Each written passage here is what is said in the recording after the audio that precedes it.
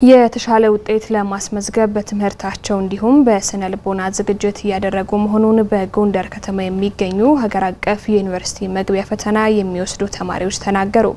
ተማሪዎች ከትምህርት ዝግጅታቸው በተጨማሪ ጭንቀትን ከሚፈጥሩ የሐሰት መረጃዎች በመራቅ የተረጋጋ ስነ ልቦናን መላበስ ትኩረት ሊሰጥ የሚገባ መሆኑን የስነ ልቦና መምህር ተናግረዋል።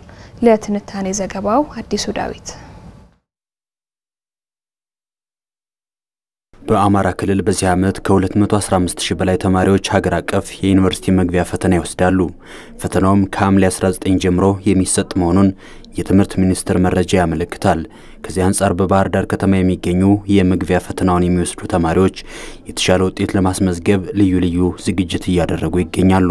ትምህርታዊ ዝግጅት አንዱ ነው። ጥረት እያደረግኩ ነው።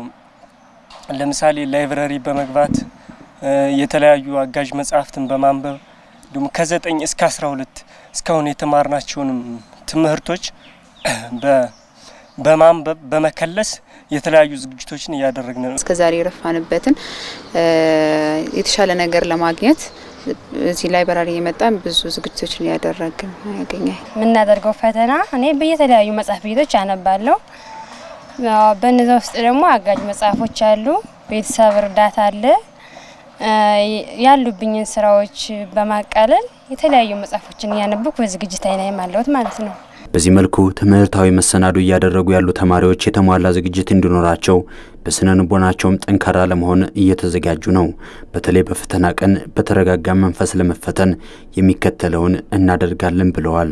ከረፈደብህ ቀጥታ ስለምገባ እደናገጣለሁ። ስለዚህ ሰዓቱን በጊዜ መግባት እሱ አንድ ነገር ነው። እኔ ከፍርሃት የሚገላግለኝ እሱ ነው። በዛ ላይ ደግሞ የራስን ለመስራት መሞከር እኔ እንደዛ ነው የማስበው። እንግዲህ እኔ እንጃ እኔ ራሴን ችዬ እሰራለሁ ብዬ አስባለሁ በራሴ በኩል ማለት ነው። የተዘጋጀበትን ማመን አንዳንዴ የተዘጋጀንበትን አለም ራሳችን አለማመን ተዘጋጅተን እንኳን በደንብ አለመመለስ አለበት መጠራጠርና የዛኔም በራሳችን ተማምነን እናሳካዋለን ማለት ያስፈልጋል። በባህር ዳር ዩኒቨርሲቲ የስነ ልቦና መምህር አቶ ታምሮ ደለለኝ ተማሪዎች የተሻለ ስነ ልቦናን እንዲላበሱ መጀመሪያ ትምህርታዊ ዝግጅት ወሳኝ ስለመሆኑ ገልጸዋል። በተጨማሪም ራሳቸውን አሉታዊ አስተሳሰቦችን ከሚያጎለብቱና ጭንቀትን ከሚያበዙ ጉዳዮች ማራቅ ተገቢ ስለመሆኑ ገልጸዋል። በቂ ዝግጅት ያላደረጉ ተማሪዎች ጭንቀት ውስጥ ይገባሉ። ቤተሰብ ደግሞ እና አካባቢ ጎረቤትም ሊሆን ይችላል ልጆችን ከልክ በላይ የሚጠብቃቸው ከሆነ ልጆች ራሳቸውን ፍጹም አድርገው የሚጠብቁ ስህተት የሚባል አንድም X ላለማምጣት የሚጠብቁ ከሆነ እነዚህ እነዚህ ራሳቸው ላይ ከፍተኛ ጭንቀት ያመጣሉ። ከዚሁ ጋር በተያያዘ ደግሞ ራሳቸው ላይም ሊለቁት የሚችሉት ጭንቀት አለ። ከባድ እኮ ፈተናው፣ እንደዚህ ነው እንደዚህ ነው ማትሪክ ለሰራለትና እንደዚህ ለሆነ አይሆንም ምናምን እያሉ ብዙ negative stories ወይም አሉታዊ ስሜቶችን ሊፈጥሩ ፍርሃትን ውስጣቸው ሊያሰርጹ የሚችሉ ነገሮችን ይነግሩታልና ከነዚህ ነገሮች ራሳቸውን እንዲያጸዱ እንዲረጋጉ ድጋፍ መደረግ ያለበት ጊዜ ነው። በፈተና ሰሞን ደግሞ መንፈሳቸውን ሊያድሱ ከሚችሉ ቦታዎች ማዘውተርና መሰል ተግባራትን በመከወን ካላስፈላጊ ጭንቀት በመላቀቅ ፈተናውን በአግባቡ ለመስራት የሚያስችላቸውን ስነ ልቦና መላበስ ይችላሉ ብለዋል የስነ ልቦና መምህሩ። የፈተና ቀን አካባቢ ላይ እንግዲህ ልጆች በቂ እንቅልፍ መተኛት አለባቸው። ሁሌም አስፈላጊ ነው።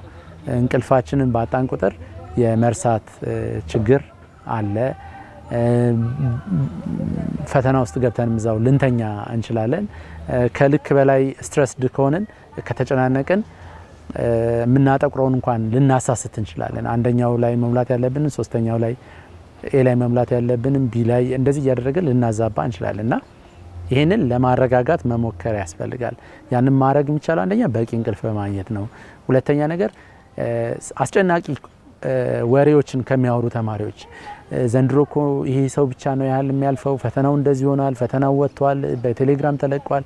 እንደዚህ አሉታዊ የሆኑ ስሜቶችን የፍርሃት፣ የጭንቀት፣ የመረበሽ እነዚህን ነገሮች manage ማድረግ ይጠይቃል እና ለዛ አንደኛው ምንድን ነው በቂ እንቅልፍ መውሰድ።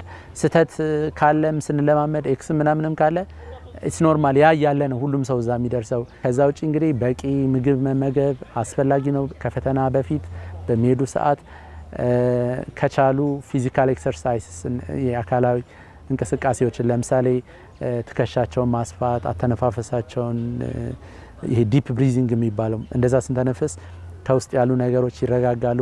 ከዛ ውጪ እንግዲህ calm የሆኑ ቦታዎችን የሚያረጋጉ ቦታዎች መንፈሳዊ ቦታዎች ሊሆን ይችላሉ፣ ሐይቆች፣ አረንጓዴ ቦታዎች እንደዚህ አይነት ጸጥታ ያለባቸው ስፍራዎች ላይ መሆንም ጥሩ ነው። ፈተና ቦታ ላይ ሲሄዱ ቀድመው መሄድ ጥሩ ነው። በጊዜ መገኘት፣ ትዕዛዝን ማዳመጥ ጥሩ ነው። በፈተና ወቅት ያለ መጠነኛ ጭንቀት ተፈጥሯዊና ተማሪዎችን ለማነቃቃት እንዲሁም ለማዘጋጀት የሚያግዝ ሲሆን ከመጠን ያለፈ ጭንቀት ግን የሚያውቁትን ሁሉ ላለመስራት የሚያስችል ክፉ ልምድ መሆኑን በመረዳት ተማሪዎች ከዚህ ለመራቅ ጥረት ማድረግ አለባቸው ብለዋል።